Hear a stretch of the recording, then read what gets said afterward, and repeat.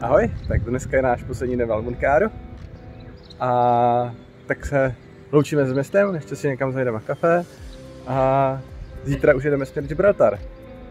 Tak zase nás čeká nějaké cestování po měsíčním pobytu zde a bylo to tady fakt krásný.